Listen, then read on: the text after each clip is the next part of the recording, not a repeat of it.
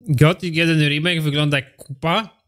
Oho, nie mogę się doczekać komentarzy, nie? sporo dzieje się we wnętrzu Sony. Bungie, które miało stworzyć swoje, jak i nadzorować gry live service od innych, mierzy się teraz z ogromnymi problemami, a do tego dochodzą kontrowersje związane z szefem tego oto studia. O wszystkim sobie dzisiaj porozmawiamy, a plus tego ruszyła w końcu oficjalna petycja zatytułowana Stop niszczeniu gier, która ma spowodować, że wydawcy nie będą w stanie tak dymać nas na kasę, jak dymali nas teraz. Nie żyje legenda polskiego dubbingu. Nowy gameplay Gothic Remake pojawił się w sieci i w ogóle mi się nie podoba, no. No i tak mogłaby wyglądać gra w uniwersum Władcy Pierścieni. Subskrybujcie kanał, a tymczasem zaczynamy. Zacznijmy sobie od Władcy Pierścieni. Tak, tego Władcy Aha. Pierścieni, który nie dostał jakiegoś dobrego kontentu. Ostatnio Jezu, te gry Władcy Pierścieni. Ja ogrywałem na kanale kiedyś, one są tak do dupy. Najlepsza gra od Władcy Pierścieni to jest Bitwa wśród Ziemi RTS, nie? Bo ma swoje autorskie, oryginalne mechaniki.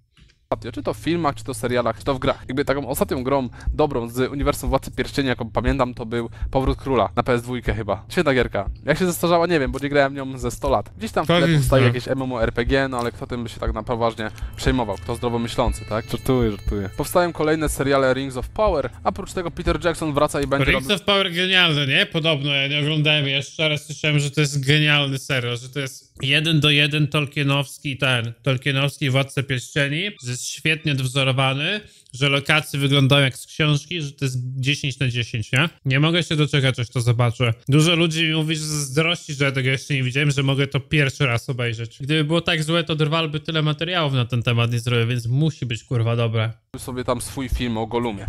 Żartuję, kurwa. Trzy razy próbowałem to gówno oglądać, nigdy nie obejrzałem więcej niż jeden odcinek. Nie da się. Ale mimo wszystkiego niektórzy fani chcą czegoś innego. Oni chcą gry dużej, ogromnej, w open worldzie powiedzmy, bardzo ładnie wyglądającej, z realistyczną grafiką, nie to co Return to Moria. No i jeden z fanów postanowił wziąć sprawy w swoje ręce. Niejaki Majkak64 O postanowił, kurwa. że stworzy wizualizację Lotra na Unreal mi widzowie, dlaczego Gothic Remake wygląda tak jak Gothic Remake, po czym jedna osoba potrafi zrobić kurwa coś takiego. Wy widzicie, gdzie jest sufit? To robi jedna osoba. Wyobraźcie sobie, jak dużo jest w stanie teraz zrobić kilka osób. Engine 5 i sami zobaczcie jak świetnie to wygląda, jak świetna mogłaby być z tego gra. O, oczywiście, to są pewnie tylko rendery. Oczywiście to jest tylko Unreal Engine 5, na którym bardzo łatwo można zrobić ciekawie wyglądające obszary, ale mimo wszystko no pobudza to wyobraźnię. Jeżeli widzicie te wrota, no kur, no chciałoby się tym dostać grę. Twórca pisze, dużo bawiłem się z mechaniką ruchu i fajnie byłoby stworzyć krótkie wideo, w której wcielamy się w hobbita uciekającego przed upiorem pierścienia w drodze do rozbrykanego kucyka. Można tam zrobić tak wiele, że mogłaby to być prawie osobna gra w stylu gatunku ucieczka przed potworem.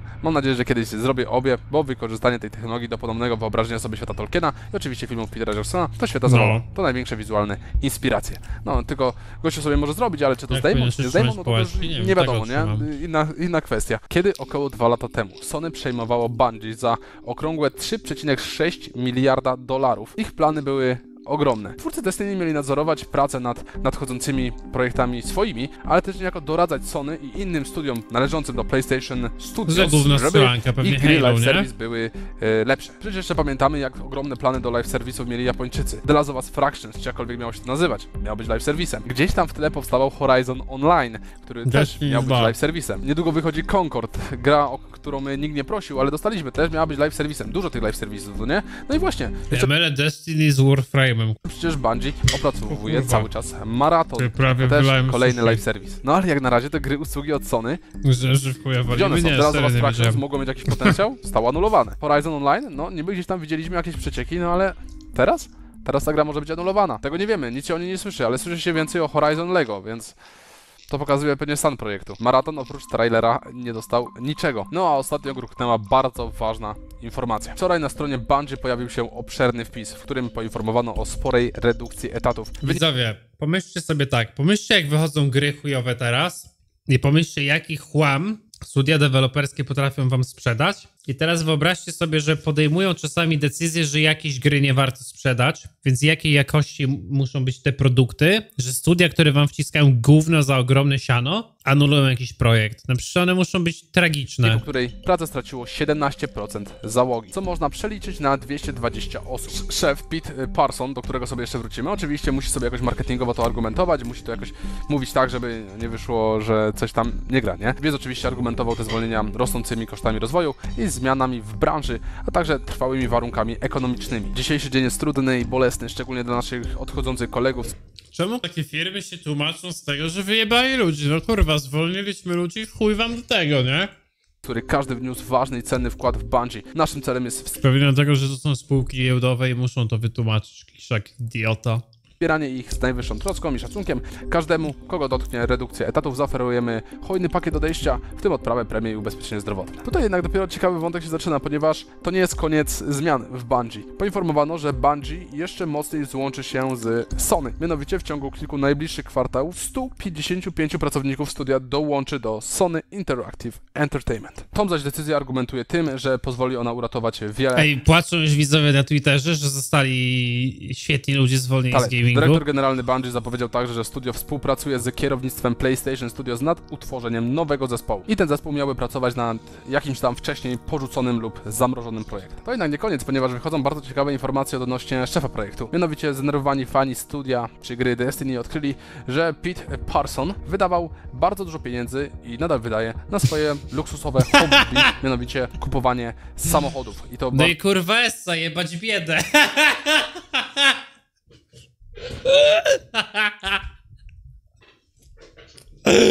To dorobisz się na waszych garbach. do drogich samochodów. Mi osobiście to podchodzi za bardzo pod zaglądanie w portfel. Jak ma kasę, to niech sobie wydaje, nie? Jeżeli chce sobie kupić No dokładnie, jak kasy, to niech sobie wydaje, chuj to kogo wchodzi, nie? samochód, to niech sobie kupuje. Jeżeli ta kasa jest jego, bardzo długo pracuje w Bungie, więc nie dziwi mnie to, że ma dużo pieniędzy.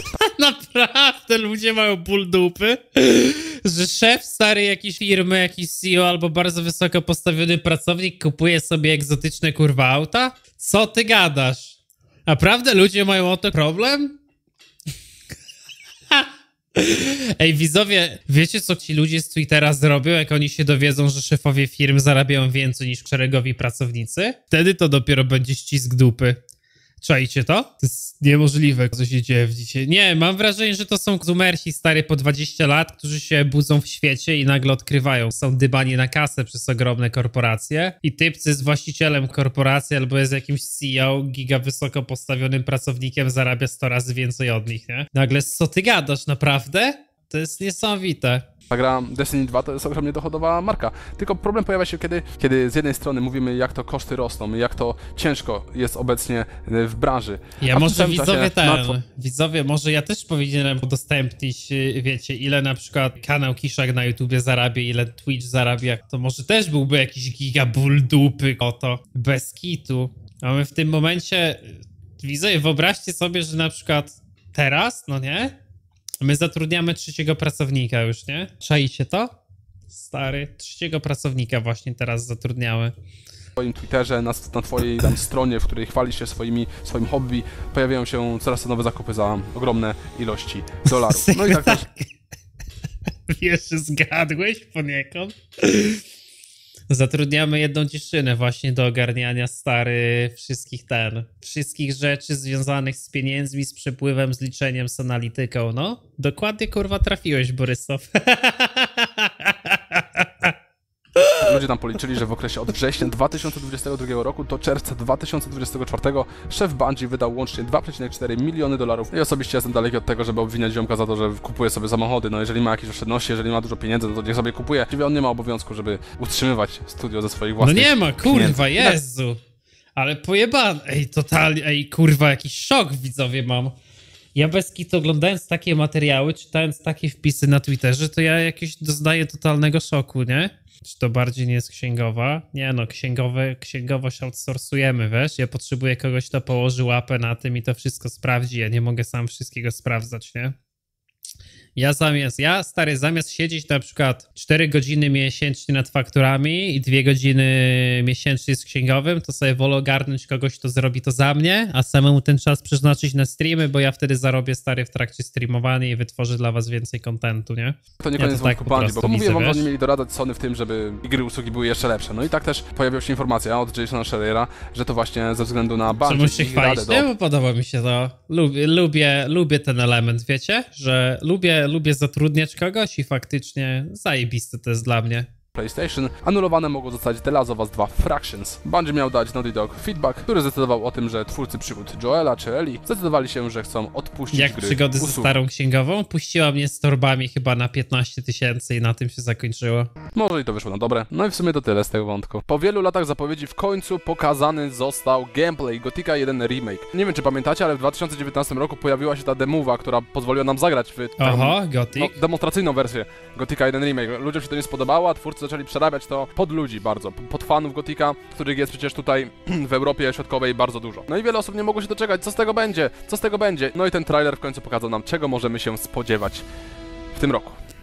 I po obejrzeniu mogę powiedzieć, że za wiele to my się spodziewać e, nie możemy. Według O. mnie Alchemia Interactive, czyli deweloperzy, mm, stanęli na głowie, żeby zrobić grę jeszcze bardziej drewnianą niż oryginał. W sensie to ma nawet w nazwie remake. I ja się pytam, do jakiego targetu oni tą grę celują? Czy do fanów, którzy Gotika i tak kupią, jaki by nie był? Czy może do nowych osób? Bo jeżeli oni celują w jakieś nowe osoby, jeżeli ta marka, jeżeli ta marka ma stać się światowa i podbić, powiedzmy mainstream, czyli chociażby dojść do tego osoby, która nigdy To tego takim nie słyszała, to tym trailerem no nie zachęcicie nikogo. O ile świat wygląda jeszcze całkiem sympatycznie, to system walki i ogólnie animacje, mm, mimika postaci są wręcz kurwa obrzydliwe. Ja wiem, że teraz pewnie wielu z was się oburzy i napiszcie mi w komentarzach, że im bardziej drewniany gotyk, tym lepszy. Ale nie mamy już 2001 roku. Mamy 2024 rok. I to, co było akceptowalne 23 lata temu, nie jest akceptowalne w 2024 roku. W tym trailerze właściwie nie widzę nic, co jakkolwiek by mnie do tej gry zachęcało, bo ja wiem, że Gothic 1 ma wiele mechanik, ma wiele elementów, które wykraczały poza swoje czasy, ale- mimo tego odrzuca mnie tą swoją drewnianością, nieintuicyjnością w sterowaniu. Czekałem na ten remake, żeby w końcu poznać, dlaczego ludzie się tak tym jarali, dlaczego to, ta gra obrosła takim kultem w Polsce, czy też za bliskimi granicami. I jak widać, jak obejrzałem ten trailer, to sobie pomyślałem, że kurwa, to nie ma na to czekać właściwie. Ja sobie mogę zagrać w jedynkę i będę grał w grę, która jest lepiej zrobiona, bardziej płynna. Może No. nie wygląda lepiej graficznie, ale no przynajmniej jest trochę mniej drewniana. Ja nie wychowałem się na Gotiku, nie jestem żadnym fanem. Nie będę przymykał oczu na błędy tej gry, dlatego że to jest remake kultowej gierki i ludzie grali jak była Ale drewniana i kurwa, nie wiem, moim zdaniem to tym bardziej się nie, nie powinno przymykać oczu, kurwa, na to. Jak jesteś fanem jakiejś gierki, to chyba masz większe oczekiwania, a nie niższe. A dużo ludzi przym, właśnie przymyka oczy, bo jest fanem i chce sobie zagrać jeszcze raz w Gotika. No to takich ludzi się jebie, kurwa, na siano, nie? teraz nie chcą, żeby była drewniana. Nie wiem, jak jesteś fanem piwa, zamawiasz sobie piwo regionalne w knajpie, leją ci tyskie, to mówisz, dobra, jestem fanem piwa i nie zwracam uwagi na chujowy smak szczochów. Wiecie o co chodzi. Z takich szczegółów to widać, że e, te ważniejsze postacie są o wiele Niektórzy bardziej szczegółowe, przykład standardy, niektórzy po prostu nie mają standardów. Diego, a na przykład te mniej ważne postacie są o wiele e, skromniejsze w detale, to jest normalne, ale ten przeskok jest tak zatrważający, że aż powoduje tutaj u mnie trochę e, ból głowy. No to zdecydowanie nie wygląda jak gra, która miałaby wychodzić w 2024 roku. Już serio wolałbym, żeby ta Alchemia Interactive nie słuchała się aż tak bardzo tych takich korowych graczy, którzy grali na premierę, bo mam wrażenie, że większość z nich nie oczekuje jakiejś ewolucji tej gry, a dostania właściwie tego samego, co mieli 23 lata temu. Trzeba jeszcze trochę poczekać na szerszy gameplay, w którym nie będziemy mieli tak mm, tego wszystkiego zedytowanego, zmontowanego, a będzie po prostu czysta rozgrywka, która pozwoli nam poczuć, jak rzeczywiście gameplay e, w praktyce będzie wyglądał. Idziemy dalej. Kilka miesięcy temu ruszyła spora akcja, która zebrała ogromną popularność. Stworzył ją Ross Scott i nazwał Stop Killing Games. Szala goryczy została przelana przez The Crew 2, któremu Ubisoft zamknął serwery i mimo tego, że posiadaliśmy funkcjonalny egzemplarz, nie mogliśmy w grę grać, no bo ona wymaga połączenia z internetem. Jeżeli nie ma serwerów, no to jest chuj, a nie możliwość grania. Ross Scott postanowił iść dalej, zebrał sporo podpisów i tym razem e, ruszyła zbiórka podpisów pod europejską petycją w sprawie wsparcia inicjatywy O. Stop Destroying Video Games. Projekt udało się zarejestrować w połowie czerwca i od teraz przez następne 12 miesięcy możecie składać podpisy. Linkuję wam to w opisie, to jest bardzo O, ważna widzę, sprawa. przyglądniemy to potem Nie podpisaliście się pod tą petycją, zróbcie to, bo to jest jedna z y, niewielu rzeczy, które możemy zrobić, żeby, żeby te live serwisy, żeby ci duży wydawcy nie byli tak swobodni w no, dymaniu nas na kasę, no. Użyję takich słów. Dymają nas na kasę. Dymają nas na kasę, więc wejdźcie w opis, podpiszcie to cholerstwo. To zajmie wam pewnie chwilę, dosłownie, nie wiem, dwie minuty, a dzięki temu będzie po prostu jeden więcej głos do tego, żeby coś zmienić. No, fajna inicjatywa, naprawdę zajebista inicjatywa, podziwiam, że takie coś ogarnął. Na szybko, pojawiły się wymagania sprzętowe Star Wars Outlaws. Wielokrotnie mówiłem wam, że dla mnie ta gra wygląda tragicznie, niegrywalnie i to, co ja widzę na gameplayach, i nawet sama grafika, to jest najmniejszy problem. Największy problem tej gry jest, kurwa, to, że tam się nic nie robi, ona jest po prostu nudna. Te gameplaye, te 30-minutowe yy, rozgrywki, te, potem, potem ta 10-minutowa rozgrywka nie pokazywały nic fajnego, nic, co by mnie jakkolwiek do tego produktu przyciągało. I to, że on w niektórych momentach graficznie wygląda źle, no to to bym przeżył, jeżeli gameplay jakoś by oddawał. Ale tutaj mamy i grafikę taką nie najlepszą, z wieloma problemami, ale również gameplay, który nie dostarcza za wiele z tego, co widzieliśmy na razie w marketingu. Zwłaszcza, że jest to gra z chyba największym budżetem marketingowym od Ubisoftu. W każdym razie wymagania sprzętowe się pojawiły. Proszę bardzo, macie je właśnie na ekranie. Niskie ustawienie grafiki, wysokie, wysokie ustawienie grafiki, ultra. Dobra, patrzymy, wysokie ustawienia 1080p 60 fps. RTX 3060, ok. Miejsce na dysku 65 giga. Ryzen 3,7 GHz. O kurwa, ty stary, to ma masny ten. I to jest pewnie, to i tak pewnie nie będzie działało ten. To i tak pewnie nie będzie działało w 60 FPS-ach płynnie, no nie, pewnie w miastach będzie i tak spadało, no i to jest na 100% subscalingiem. No to trochę są tutaj wymagania. Żeby mieć 60 FPS będzie trzeba mieć RTX 3060 Ti. Przepraszam bardzo, ale jak ja na to patrzę, to nie jestem w stanie temu wierzyć, no. No nie jestem w stanie temu wierzyć, to za, za, za często się przejechałem na wymaganiach sprzętowych, żeby czemukolwiek tutaj ufać na słowo. Temeria straciła gdzieś wielkiego patriotę, a my przyjaciela. Z bólem serca żegnamy dziś Krzysztofa Banaszyka, który użyczył głosu postaci Vernona Rosza. Dziękujemy za wszystkie wspólne przygody. Niestety wczoraj zmarł Krzysztof Banaszyk. Polski aktor dubbingowy, filmowy, teatralny i był on głosem nie tylko Vernona Rosza, Jorwet. Zwykły skurwysyn. ale chociażby Joela z The Last of Us. Dubbingował mojego ukochanego Dragon Balla, a dokładniej filmy takie jak Fuzja czy Atak Smoka. W Kung Fu Pandzie był głosem modliszki, więc pana Krzysztofa na pewno będzie brakować i szkoda, że nie usłyszymy więcej jego wybitnych występów. To tyle na dzisiaj, trzymajcie się i do zobaczenia. No to dobra, to dobra, to dobra.